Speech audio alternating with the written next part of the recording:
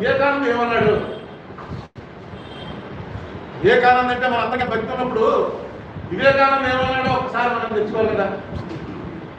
మన చంద్రబాబు నాయుడు గారు కూడా ఒక మాట అనేసాడు వీళ్ళైతే వైఎస్ఆర్సీపీ వాళ్ళైతే వీళ్ళకి అనవసరం. అక్కడ జరిగింది. జరిగిందా పోలీసులు చేయాలి ఏం చేయాలి?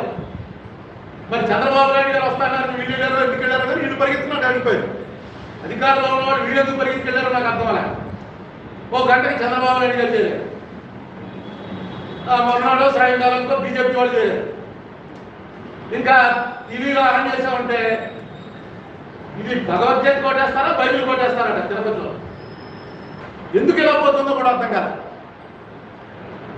ఏమన్నాడు అసలు వివేకానంద? మనకి చాలా ఒక ఈ మధ్య హిందూ అనే నా సాంప్రదాయం పాటించే వాళ్ళందరికీ బాగా చదువుకున్న వాళ్ళకి ఒక ఫీలింగ్ వచ్చేసింది. ఏమనంటే మనకి సహనం అంటే మనకి సహనం. ముస్లింలకు ఉందా క్రిస్టియన్స్ ఉందా మన సహనం కాబట్టి వాళ్ళు ఇక్కడ ఉన్నారు మన మన- సహనమే మన వీక్నెస్ అన్నట్టు. హిందూ మతానికి ఎంత సహనం అండి పెద్ద ఏదో పెద్ద సహనం ఫీల్ అయిపోతూ పెట్టాడు. ఈ సహనం గురించి ఏమన్నాడు? Vivekananda so called toleration.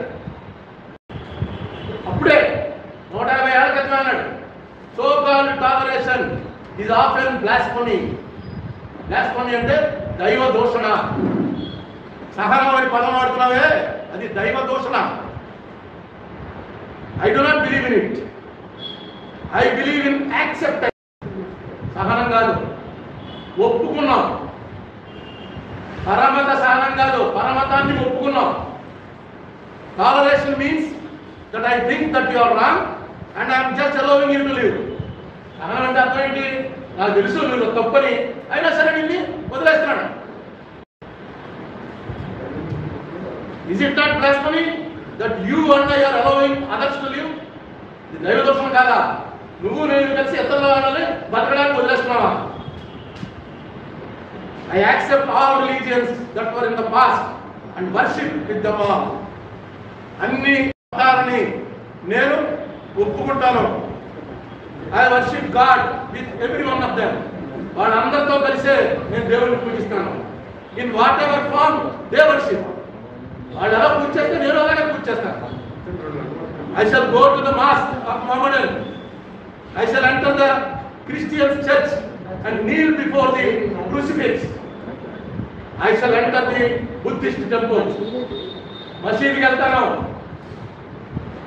క్రైస్తవులు శిలువ దగ్గరికి వెళ్ళి వాళ్ళతో పాటు నేను కూడా ఉండి నమస్కారం చేస్తాను. బౌద్ధుడి గుడికి వెళ్ళి అక్కడ వాడు ఏం చేస్తున్నాడో అదే చేస్తాను. టాలరేషన్ అనే మాటే తప్పు.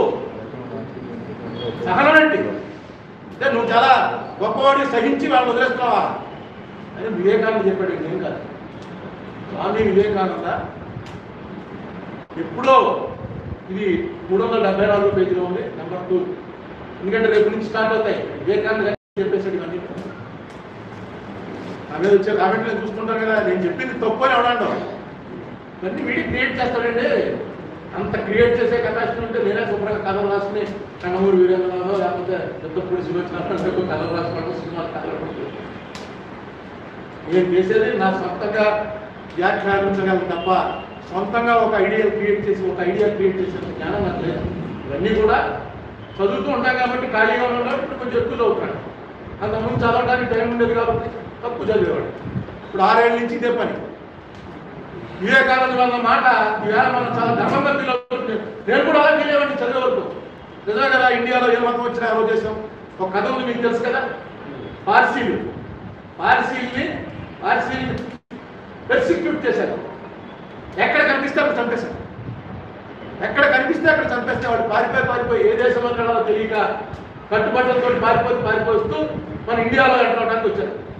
వస్తే రాజా అడిగట్ట ఏంటి అందరూ ఎక్కడ పడ్డారు మన దేశంలో ఆలోచించండి అంటే వాళ్ళు ఏం చేశారంటే పాలలో పంచదార నీళ్ళు ఏదో కలిసి చూపించి అలా కలిసిపోతాం మీ కమ్యూనిటీతో మాకు ఎక్కడ ఆశ్రయం ఇవ్వట్లేదు. ఎక్కడ చెప్పేసుకుని వచ్చారు పారిపోయి ఆ పార్సీలు ఇండియాలో ఆశ్రయించారు అంటే మాకేం అర్థం లేదా? మీ మీద వచ్చి ఎవరన్నా చెప్పడానికి వచ్చి బాగా పడతాను మళ్ళీ మా యుద్ధాలు చేయాలని తప్ప మీరు మాలో కలిసిపోతా ఉంటే మాత్రం అలా ఆ వేళ చేసిన దానికి ఇండియాకి చెప్తే మనం మనం అదే నమ్ముతాం. మనం చేసుకున్న వాడికి చేసుకున్నంత అంటారు. మన ఇండియాకి పార్సీలు చేసినటువంటిది మామూలు ఉపకారం కాదు. అణుబాంబు హోమీ బాబా పార్సీ. స్వాతంత్ర పోరాటం దాదాబాయి నవరోజీ పార్సీ. విప్లవం ఇండస్ట్రియల్ విప్లవం. జంషెడ్డి తాత పార్సీ. యుద్ధాల్లో పెద్ద పేరు వచ్చినప్పటి వరకు మనకి మిలిటరీ వాడు ఇండియన్ మిలిటరీలో పెద్ద పేరు వచ్చిన వాడు మానేక్ పార్సీ ఇక లెక్కలు చూసుకుంటూ పోతే వాడే ఎక్కడ వాళ్ళు ఎంటర్ అయ్యారో వాళ్ళు అందులో పీక్లో వెళ్ళిపోయారు. మనం వాళ్ళని ఆ వేళ పిలిచి ఆశ్రయించినందుకు వాళ్ళు ఇండియన్స్ అయ్యారు. కానీ వాళ్ళు పార్సీ మొత్తం వదులుకోరా వాళ్ళు ఇప్పటికీ వాళ్ళు పార్సీ మొత్తం వాళ్ళు ఉంటారు. మన అది గొప్ప మా సహనం అంటది. మాకు గొప్ప నేను తక్కువ ఎలా చేస్తాం. లేకపోతే అన్న మాటే గొప్పది దైవ దూషణ. ఆ మాట వివేకానందుడు చెప్పాడు. ఇది కొంచెం ఇప్పుడు ఈ రోజున మాట్లాడుతున్న వాళ్ళు ఈ రోజున బిహేవ్ చేస్తున్నామని చూస్తుంటే చంద్రబాబు నాయుడు గారు వచ్చి క్రైస్తవుల్ని క్రైస్తవానికి జరిగిపోతుందండి చాలా ఎక్కువ. ఎందుకు జరుగుతుంది? గవర్నమెంట్ కారణమా దానికి. ఎందుకు జరుగుతుంది? అది కూడా వివేకానంద చెప్పాడు.